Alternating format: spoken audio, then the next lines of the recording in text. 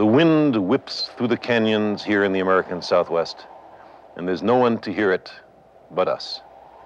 A reminder of the 40,000 generations of thinking men and women who preceded us, about whom we know next to nothing, upon whom our society is based.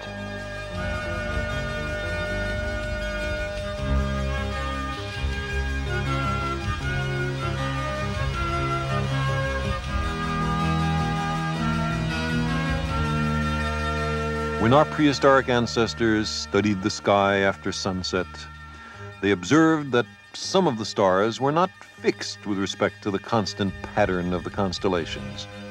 Instead, five of them moved slowly forward across the sky, then backward for a few months, then forward again, as if they couldn't quite make up their minds. We call them planets, the Greek word for wanderer. These planets presented a profound mystery. The earliest explanation was that they were living beings. How else explain their strange, looping behavior? Later, they were thought to be gods, and then disembodied astrological influences. But the real solution to this particular mystery is that the planets are worlds, that the Earth is one of them, and that they all go around the sun according to precise mathematical laws. This discovery has led directly to our modern global civilization. The merging of imagination with observation produced an exact description of the solar system. Only then could you answer the fundamental question, the one at the root of modern science. What makes it all go? 2,000 years ago, no such question would even have been asked. The prevailing view had then been formulated by Claudius Ptolemy, an Alexandrian astronomer and also the preeminent astrologer of his time. Ptolemy believed that the Earth was at the center of the universe, that the sun and the moon and the planets like Mars went around the Earth. It's the most natural idea in the world. The Earth seems steady, solid, immobile while we can see the heavenly bodies rising and setting every day. But then, how explain the loop-the-loop -loop motion of the planets in the sky, Mars, for example? This little machine shows Ptolemy's model. The planets were imagined to go around the Earth, attached to perfect crystal spheres, but not attached directly to the spheres, but indirectly through a kind of off-center wheel.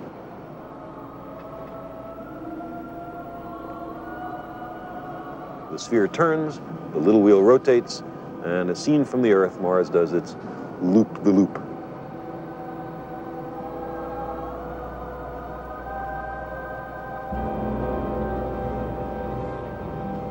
This model permitted reasonably accurate predictions of planetary motion, where a planet would be on a given day.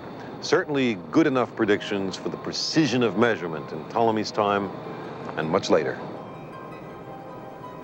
Supported by the church through the Dark Ages, Ptolemy's model effectively prevented the advance of astronomy for 1,500 years. Finally, in 1543, a quite different explanation of the apparent motion of the planets was published by a Polish cleric named Nicholas Copernicus. Its most daring feature was the proposition that the sun, not the Earth, was at the center of the universe. The Earth was demoted to just one of the planets. The retrograde or loop-the-loop -loop motion happens as the Earth overtakes Mars in its orbit. You can see that from the standpoint of the Earth, Mars is now going slightly backwards, and now it is going in its original direction. This Copernican model worked at least as well as Ptolemy's crystal spheres. But it annoyed an awful lot of people. The Catholic Church later put Copernicus's work on its list of forbidden books.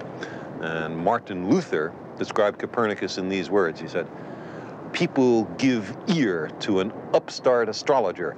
This fool wishes to reverse the entire science of astronomy.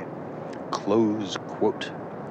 The confrontation between the two views of the cosmos, earth-centered and sun-centered, reached its climax with a man who, like Ptolemy, was both an astronomer and an astrologer.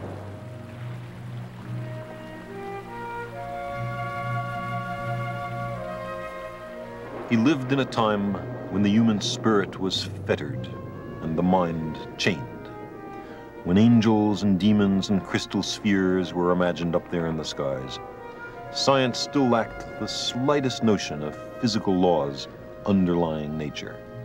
But the brave and lonely struggle of this man was to provide the spark that ignited the modern scientific revolution. Johannes Kepler was born in Germany in 1571. He was sent to the Protestant seminary school in the provincial town of Maulbronn to be educated for the clergy. It was a strict, disciplined life, up before dawn to begin a long day of prayer and study.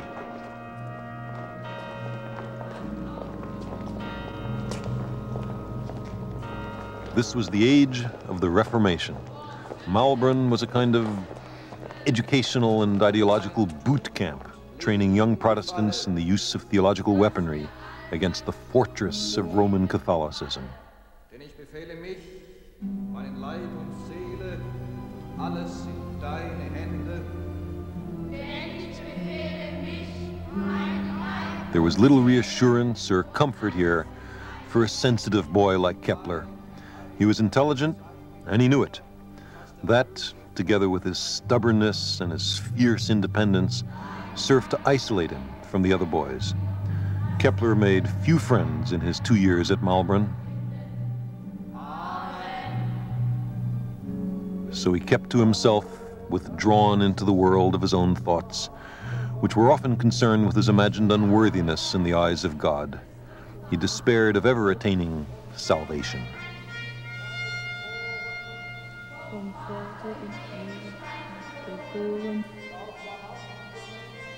But God to him was more than punishment.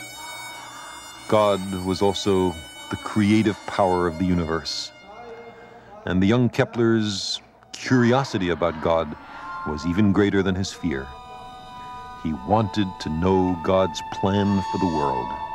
He wanted to read the mind of God. This was his obsession. It was to inspire all his great achievements. It was to take him and Europe out of the cloister of medieval thought.